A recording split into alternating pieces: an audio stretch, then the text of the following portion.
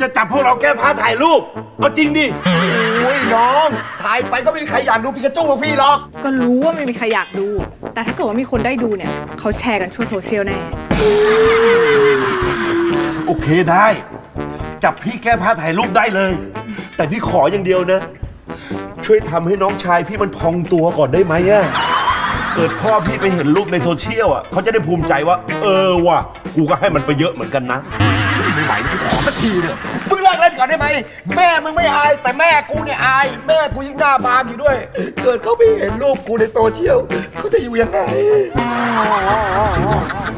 มึงชอบเปิดจุดอ่อนให้ศัตรูรู้ตลอดเลยนะ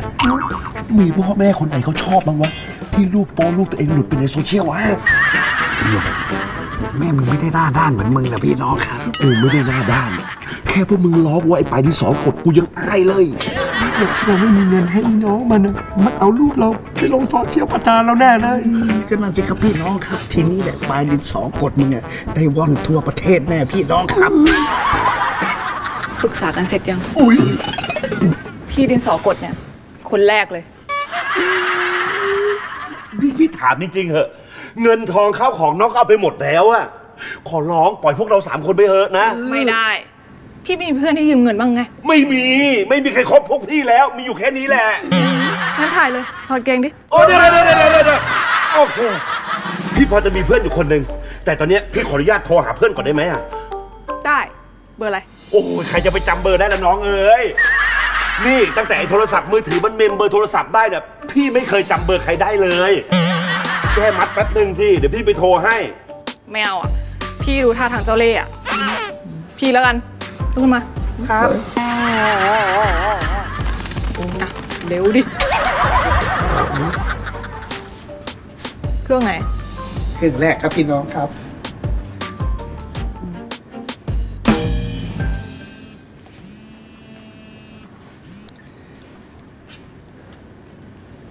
ว่าไงพี่วุฒิเรียบร้อยไหม เรียบร้อยครับพี่น้องครับ แต่เรียบร้อยที่ว่านี่คือพวกเราสามคนโดนจับมัดเรียบร้อยหมดแล้วครับพี่น้องครับฮะจริงเหรอแล้วพี่โทรมาได้ไงเนี่ยมันให้โทรมาบอกเพื่อนว่าให้เอาเงินมาถ่ายพวกเราคนละสองหมื่นครับพี่น้องครับไอ้ตุ๊ดฝากบอกไอ้ต่อด้วย ว่ารู้ใช่ไหมว่าคนทำยังไงอะเออน้องต่อครับไอยมมันฝากมาบอกว่ารู้ใช่ไหมว่าควรทำยังไงครับพี่น้องครับ เข้าใจแล้วพี่ บอกพี่ยมด้วยว่าผมโอเค เดี๋ยวจัดการให้ พี่น้องครับเดี๋ยวเพื่อนผมจัดการให้พี่น้องครับ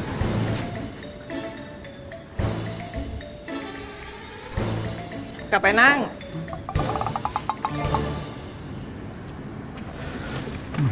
ไม่ต้องกลัวหรอกเดี๋ยวไอ้ต่อก็พาตำรวจมาทั้งกระโยกมารูปตัวไอ้สองคนเนี่ยเพราะว่ากลัว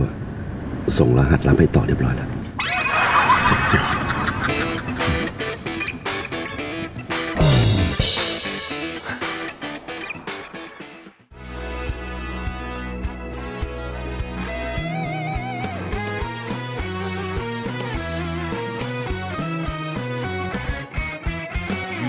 เดียว ก็คุ้นเคย